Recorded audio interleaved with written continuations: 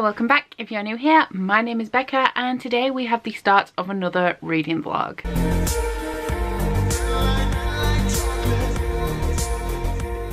So today is Tuesday and it is the second day of Spookathon and I'm actually doing surprisingly well considering that it's Tuesday. As you guys know, Mondays are always hell for me, which is why I rarely ever start a vlog on a Monday. But yesterday, you know, I did pretty well. So as some of you may know, I was running a poll to see which thriller I would be reading for Spookathon and on Monday I was awaiting the results of that because it only finished at 1.30pm but I needed to take a book to work to read on my lunch. So I took Sea Witch with me by Sarah Henning. I am now up to page 234 in this. However I did not start this from the beginning. I started at page 116 so I've read about 120 pages 70 of which I read yesterday.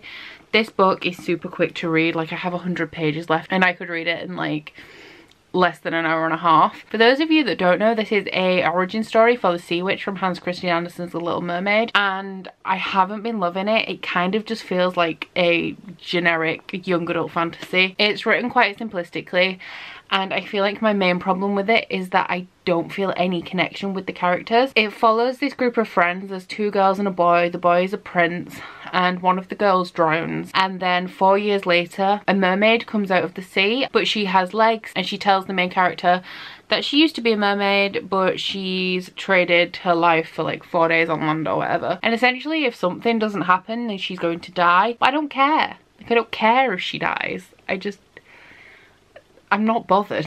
I don't know. It's gonna be either a two or a three stars for me, I think. Probably a three because I don't think the book is bad. There's just something stopping me from connecting with the characters and I'm not sure if that's the writing style or whether that's just me not really gelling with this book. So the book that won the poll is the one that I'm going to be starting this evening and that is Night Film by Marisha Pessl.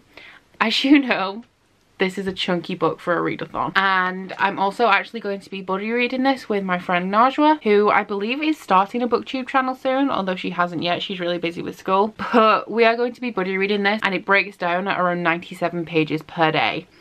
So that's intense. However, it has a lot of mixed media content in it. Like I know the first 25 pages, there's 5 pages of text and then like 18 pages of mixed media. So I'm hoping that that's going to keep it like quite quick and mean I can actually get through it in this week. This one follows a cult horror film director and his daughter is found dead and they believe she's committed suicide. But there's a journalist who has a love-hate relationship with the director and I think he like investigates something, I guess in the death of the daughter. Don't know much because it's a thriller but I am really excited especially about that mixed media. The cool thing about this as well, like I don't know, I, I haven't heard this said, I think, before. But if you go to the back, there are little symbols like this that are throughout the book. And if you download an app, then there's extra visual and audio content to go with it. So that's super interesting and I will be checking that out. I'm using this for the challenge to read a thriller, which is the main challenge for Spookathon. And I'm also using it for the challenge to read a book with pictures. So doubling up on this one, so definitely hope I can get it done. And I didn't mention, but Sea Witch is to read a book with a spooky word in the title, and that would be witch. So that's where I'm at at the minute. I am going to go and get a shower. Then I'm going to light a few candles and read night film. I will maybe check in at the end of the night. If not, then definitely tomorrow. Let you know how far I've got with that and whether I'm enjoying it. Because I'm kind of hyped, but also nervous.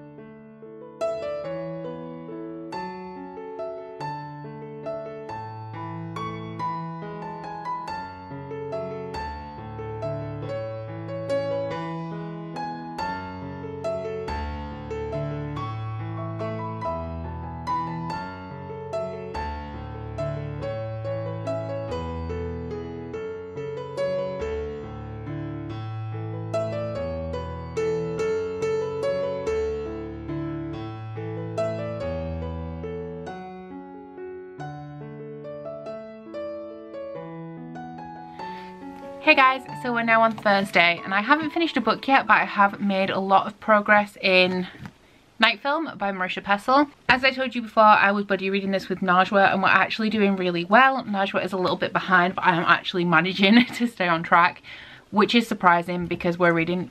Hello.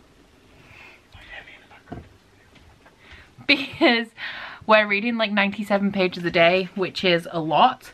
I'm on page 238, so I'm like 40 pages into our section to read for today. I'm confident that I'm going to get that done. Ideally, at some point soon, I would like to get to a point where I finish my section of this early enough that I can go back and finish Sea Witch. But at the minute, I'm just really enjoying this story. Now that I've started it, I can give you a better synopsis.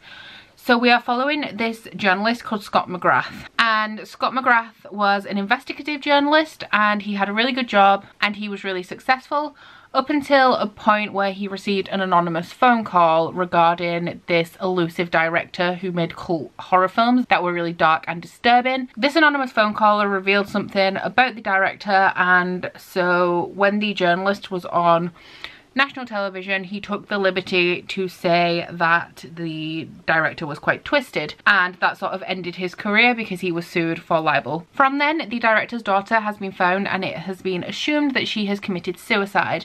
However, the journalist knows that there is something up with the director even though he jumped the gun last time and maybe revealed some stuff before he had conclusive evidence and so he follows the trail of what she did in her last days.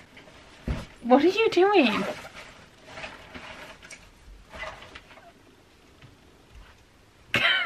I'm putting that in the vlog. And the things that he starts to find are a little bit unsettling and don't make sense.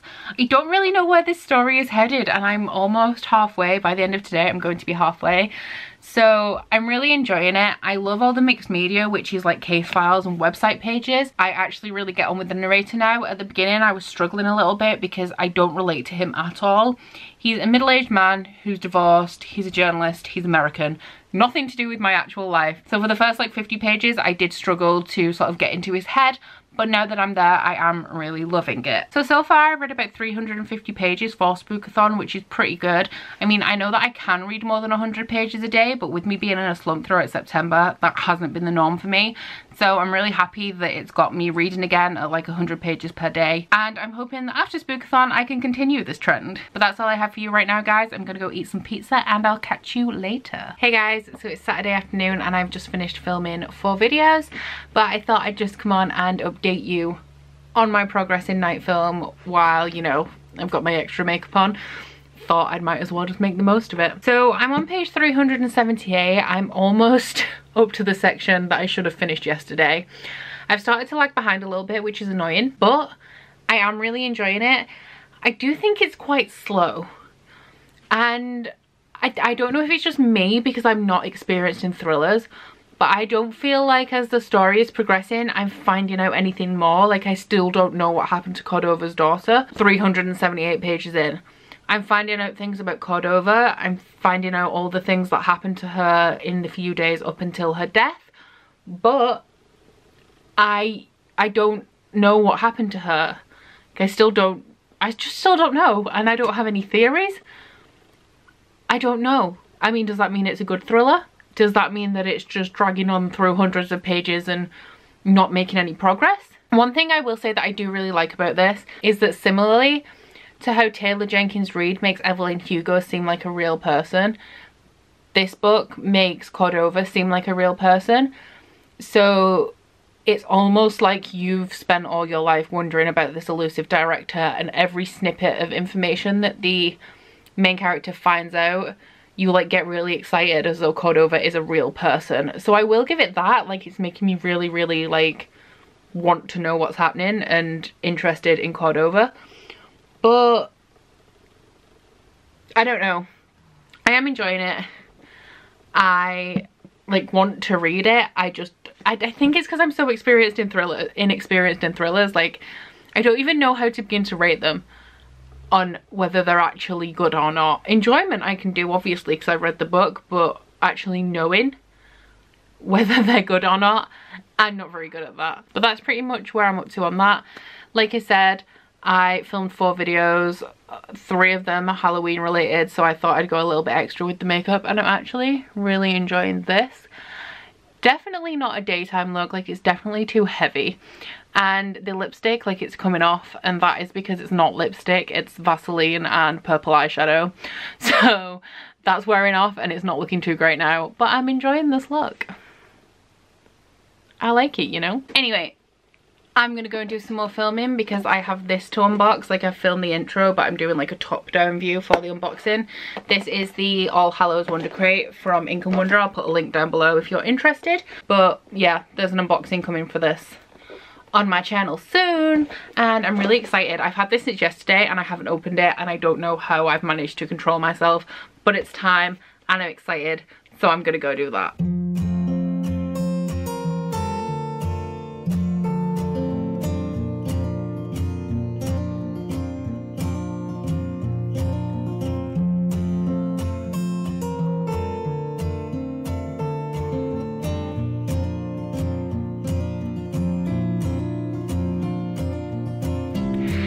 Hey guys, so it's now Sunday afternoon. It is 2 p.m.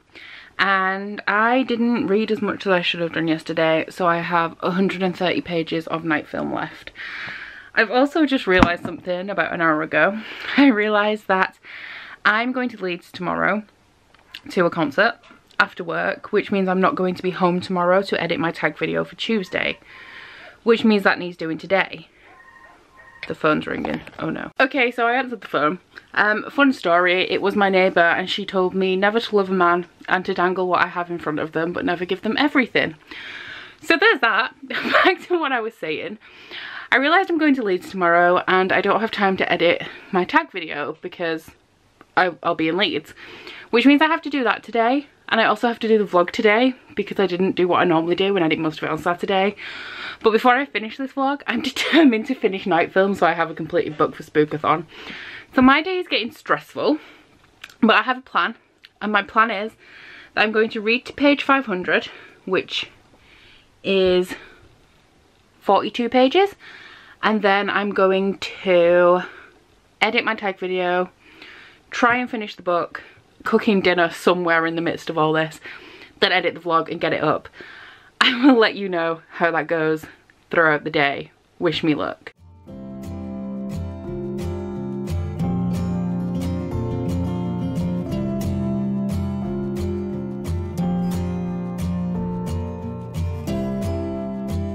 Okay guys, so it's like 6.45pm and I have not finished Night Film by Marisha Pessl. I have made some progress. I'm on page 528. I was on like page 460 when I last updated you. So I've read 80 pages. I'd also read like 50 pages before that today. So I have less than 80 pages left. So I may still be able to finish this, but I'll have to let you know in next week's vlog.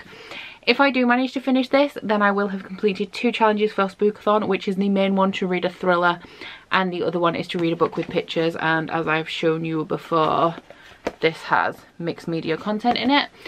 This book, I do kind of like it, but I don't understand it yet.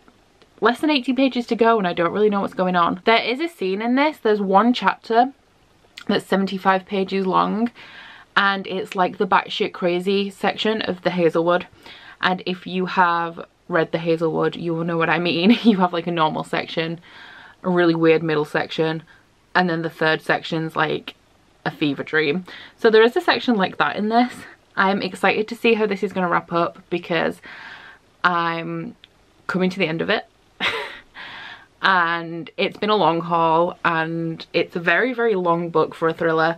So I'm really interested to see how it's going to wrap up and it is either going to be a three or a four star for me, I think. I, I don't think it has potential to be a five unless the ending just blows me away. But at the minute, every time something new is revealed and the story goes in a different direction, I'm kind of like, what the fuck? So Probably going to be a 4 or a 3 if the ending's really bad. But that's where I'm up to with that. The other thing I kind of wanted to talk to you about is I wanted to give you a heads up about a flash sale that I'm going to be having on my website on Tuesday. So this vlog is going up on Monday and then the entirety of Tuesday there will be a flash sale on my website. The timings are going to be GMT so roughly I will announce it on my Instagram probably from 8am GMT however the code will have been activated from midnight. So actually it's BST we're in British summertime at the minute. So 8am BST up until midnight BST but if you've already seen this you will be able to get access to the sale from midnight BST and I have very limited supplies of some of these candles in stock but anyway the reason I'm doing the flash sale is because Tuesday's Kingdom of Ash release day so the four Throne of Glass candles on my website will be £5 each instead of £8 just for that one day. So the four candles we have, the first one is Lord of the North, which you've seen before. Green top, and it smells of spruces, fir, northern pine and amber. This one is After the Stag of Terrasen. The second one is the other one that you've seen before, Fire Breathing Bitch Queen with a little lava top. This one is honey, vanilla and cinnamon spice. So there's that one too. The two that you haven't seen or that I haven't showed in my vlogs, The Darkness Between Stars, which is mandarin, orange, spice, oak moss, amber and vanilla. This is a Manon Blackbeak candle. We have red, black and silver glitter on it. And this is like a sweet perfumey type one. And then my signature Throne of Glass candle is Rattle the Stars. This is the first one that I ever did. And this one is Melon, Mandarin, Star Jasmine and Vanilla. Gold glittery top. So if you want to pick up any of these candles on Tuesday, the code is going to be in the description box down below because I still need to set it up. It's going to either be KOA or Kingdom of Ash and you just enter that in at checkout and it will knock the money off these add them to your basket individually don't go for any of the like bundles that I have because the discount won't be applied to the bundles. It'll only be applied to individual candles. Limited stock of some of them, especially this one I think I have limited stock of. And I don't think I have too many of those. But yeah, if you want those, the link to my website is in my description box as always and you can pick them up as a bargain on Tuesday. So that's everything for my Spookathon vlog. Please let me know down below how you have done with Spookathon and please don't forget to like and subscribe if you want to. I'm going to go now because it's getting late and I need to shower and I haven't started editing this vlog because my life is a mess this week. But that's it from me guys. I'll see you later. Bye. Oh, you say you'll go and nobody knows With guns hidden under our petticoats. We're never gonna quit it, no, we're never gonna quit it, no